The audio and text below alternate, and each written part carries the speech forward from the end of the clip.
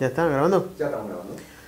Hola gente de Break, eh, mi nombre es Alejandro Guiro, soy realizador de cine y televisión, llevo 15 años trabajando en el sector de, de televisión, de cine más que todo propiamente dicho y especializado también en montaje documental.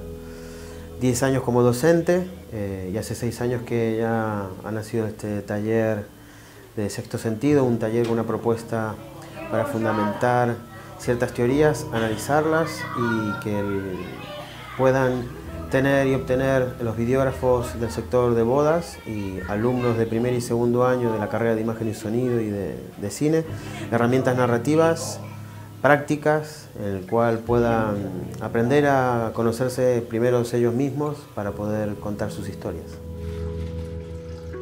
Cuando era chavalita estaba en una casa que no sé cómo se dice, empleada de hogar, digamos. Y allí fue donde aprendí yo a cocinar. Y allí me dormía y todo, allí estaba continuamente. Iba a ver a mis padres, venía a ver a mis padres de vez en cuando, cada semana, cada domingo o así. Tengo un proyecto documental que ya lleva aproximadamente unos siete años, que se llama Memorias.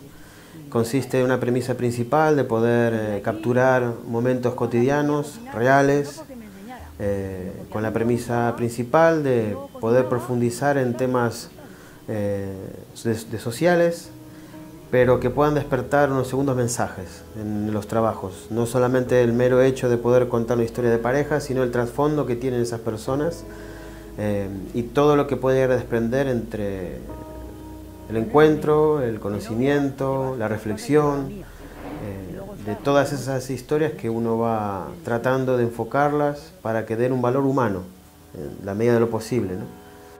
Pero te da unas bases que tienes que saberlas, para poder entender el lenguaje de otra forma, para que veas cuál es la finalidad al utilizarlo, eso es.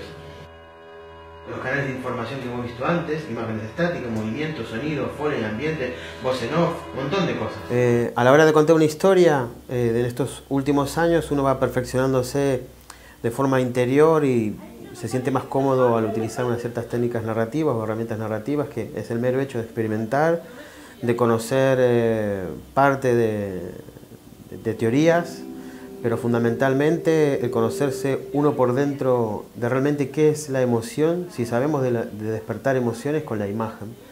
De herramientas narrativas hay, hay muchas diversas y a veces nos encasillan demasiado y nos hacen quizás desde mi punto de vista esclavos. Entonces hay que tratar de siempre de conocer cuáles son sus limitaciones eh, a través de las herramientas que tenemos para poder registrar eh, y contar nuestras historias. Y la, la... ¡Ay, el corral!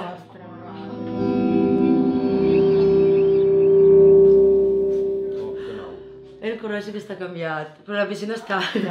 No, mira el cuarto de les gallines! Eh, mis historias no son eh, guionadas, no son el proceso creativo que pueda tener o la concepción o la- el nacimiento de las historias surgen también un poco por una metodología que fue la conocí a través de la realización de documentales, el tener que tocar lo mínimo necesario la realidad de, de esa historia que tenemos que contar, de esas personas, siempre sabiendo y teniendo en cuenta de que siempre somos selectivos de la realidad, o sea, no, aquí no existe el, el mero hecho de decir contemplo la realidad única y exclusiva y, y no es así, sino que también tenemos nuestro punto de vista, una misma situación puede ser interpretada de millones de maneras diferentes de acuerdo a cada una de las personas que tenga preparadas o no, o la interpretación de la propia realidad. Lo que permitir después a trabajar. Estamos viendo que esto es un método en el cual nos permite hacer una transición entre lo que tenemos en la cabeza, todo investigado ideado, y ahí plasmarlo ya en forma de imágenes, para ya darle una forma al montaje más todavía, la estructura.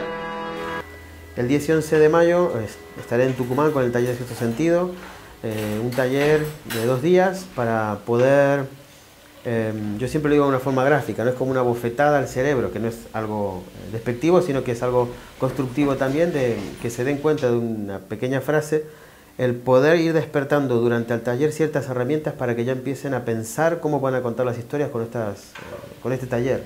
Pues esas em, herramientas que tenemos que saber identificar no por el contenido de los planos, sino por el, efecto que nos causa como espectadores. Entonces el taller trabaja mucho eso, el poder saber las herramientas y el qué, qué despierta en el espectador. El saber eso, pues podremos también ya conocer cómo queremos contar las historias. Entonces, de esa forma, pues a esta ya va creciendo. La historia casi sola. Esto es un monstruo que va creciendo solo.